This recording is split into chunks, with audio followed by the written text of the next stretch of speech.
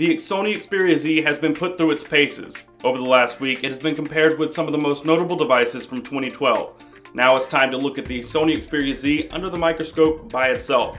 I'm Taylor Martin, this is Pocketnow, and this is our full review of the Sony Xperia Z.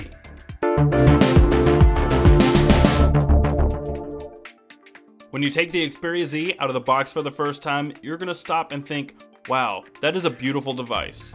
But the problem is that the hardware is conflicted. Its IP55 and IP57 ratings for dust proofing and waterproofing suggest a durable device, but it's made almost entirely of glass. Thanks to a combination of Dragontrail on the front and Gorilla Glass on the back, it's relatively scratch resistant, but it's not as hardy as plastic or metal, meaning one small slip could result in a nasty shattered device.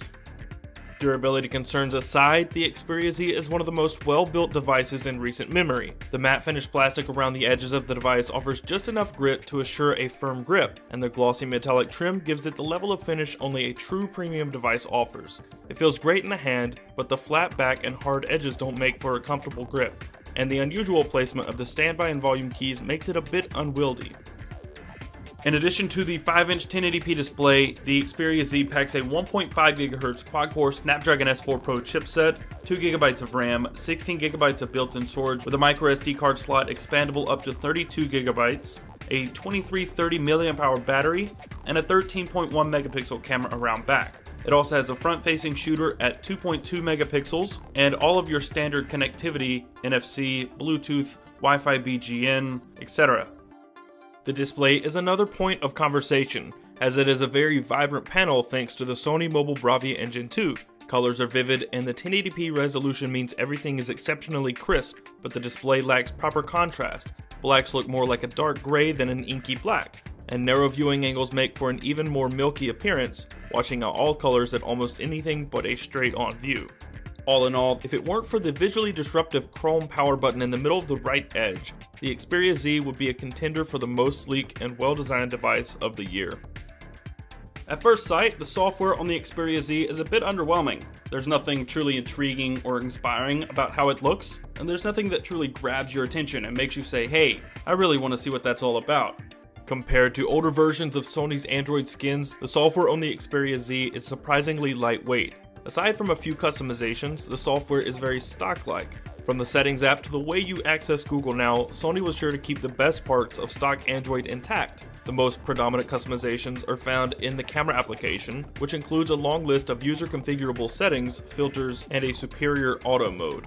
Another unique software feature which takes full advantage of the generous display size is found by pressing the task switcher button. There you will find 5 mini applications, or more if you take the time to download them from the Play Store. These applications are free-floating apps that hover over your current application and can be moved around or closed without ever leaving the app. Their utility, though, is quite limited. Fortunately, for those who don't like bloatware, most of the non-standard applications on the Xperia Z can be removed.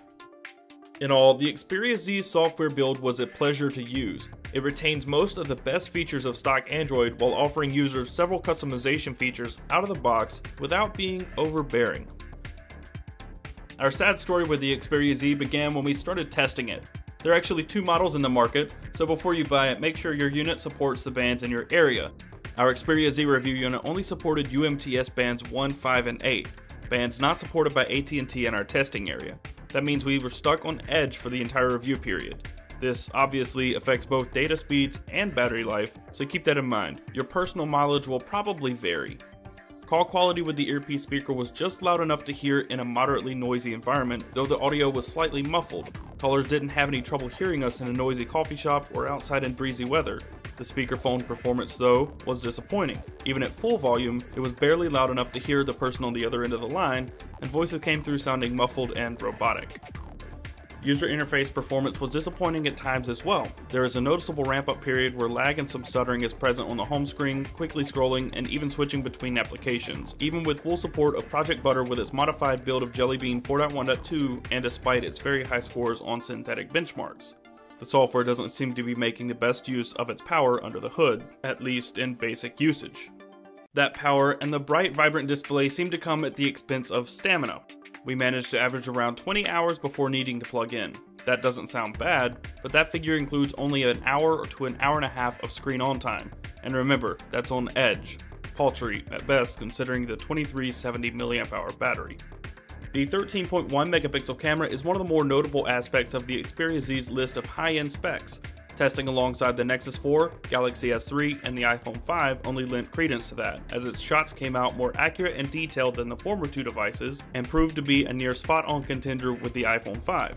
Autofocus locked on quickly, although the focus misfired occasionally, and some edges err on the side of too soft.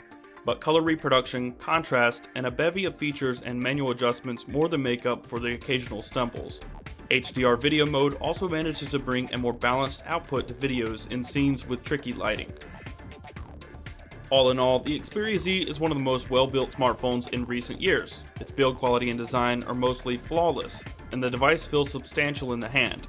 Only the low contrast display, non-ergonomic button placement, periodical stutters, and poor stamina keep this device from being one of the best choices on the market. If you're looking for a larger device with raw power and great battery life, this is probably not the phone for you. But if you want a smartphone that offers great video playback, a solid gaming experience, and very good camera performance in a pretty package, the Xperia Z will be among your top choices, so long as you're open to keeping a spare charger around. We give the Xperia Z an 8.5 out of 10. That's all for now. Be sure to check PocketNow.com for the full Xperia Z review and subscribe to the channel for comparisons and other future content. Thanks for watching, and we'll see you next time.